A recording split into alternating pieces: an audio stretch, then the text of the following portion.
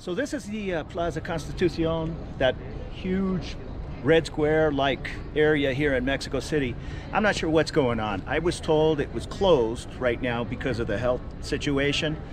And I was told you couldn't even get off the uh, metro at the El Zocalo station. But people were getting off, so I just followed them. Now, as I tried to get into the square, I had to walk at least six blocks around. There's police presence on every corner. And something is kind of weird. It's more, it seems more than the health crisis. They all had like riot shields. And over here is a large area of people in tents. So I don't know if there's some kind of pilgrimage and protest that's scheduled. I don't know. It seemed more than uh, just the situ health situation going on.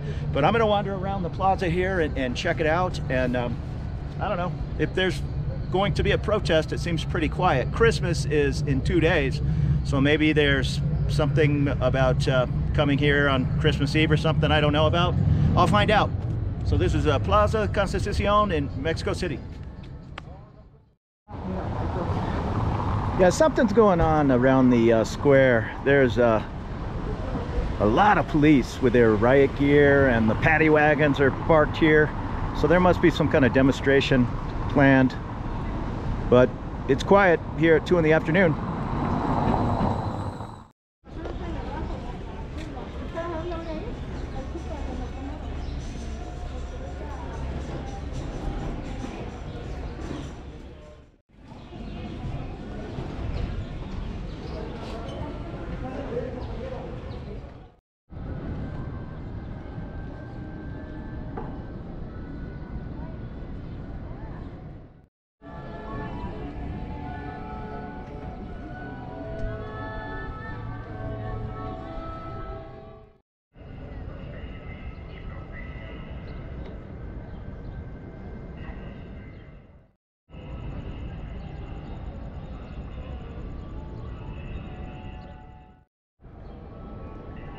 Yeah, there's a large section of tents here in the middle of the square and very few people in them. I'm, I'm not sure if this is a like a homeless person encampment. Maybe it's just a uh, a shelter for those folks. It doesn't appear at uh, one in the afternoon that anybody's in there.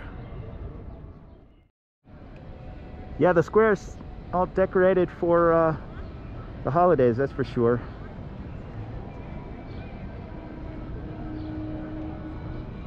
And other than uh, Mexican people, I appear to be the only tourist.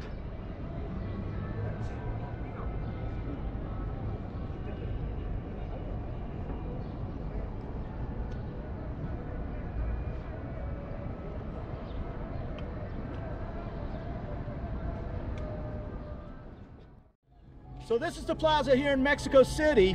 There are no tourists here. I, I mean, maybe some Mexican tourists, but I'm the only, uh, I'm one of the only tourists I see. I, they didn't make it easy for you to get in either. There's uh, police presence everywhere. I believe there's just one entrance and they're letting you exit wherever you'd like, but there's just one entrance and uh, they weren't really taking temperatures or anything. It's I think they're just trying to keep the crowds down. And I just kind of followed the crowd and came in on that one entrance. And I'm wandering around, but the plaza's empty right now. Take a look.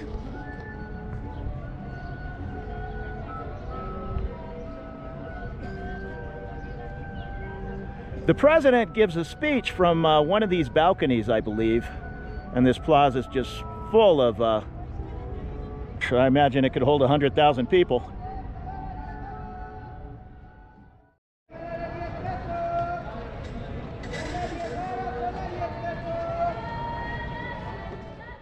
Interesting, interesting is going on. They just made an announcement and all the uh, street vendors grabbed up their things in these bags and hightailed it out of here. So I don't know if the tax man was coming or what. They'll probably be back in 10 minutes. And I just heard uh, the one lady say La Migras was coming.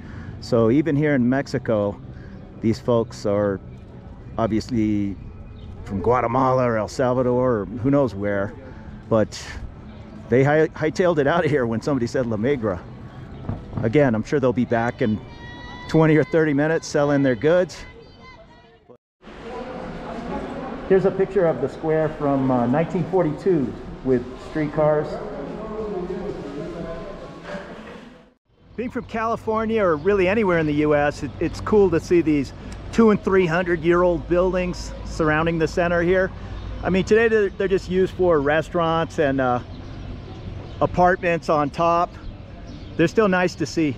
Nice architecture. This building says 1775.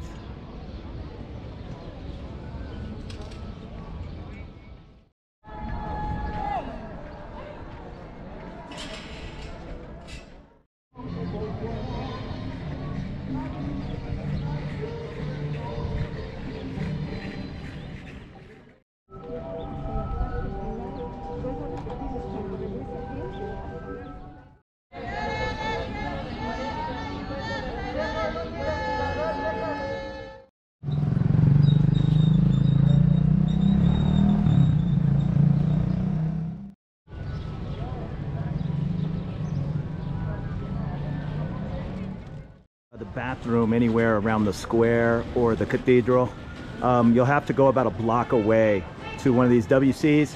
They're just six pesos, but there was no public restrooms uh, anywhere in the square or the cathedral. Maybe because of the health situation, but I didn't even see any that were closed. So just hit one of these WCs a block away before you uh, head over there for an hour or so.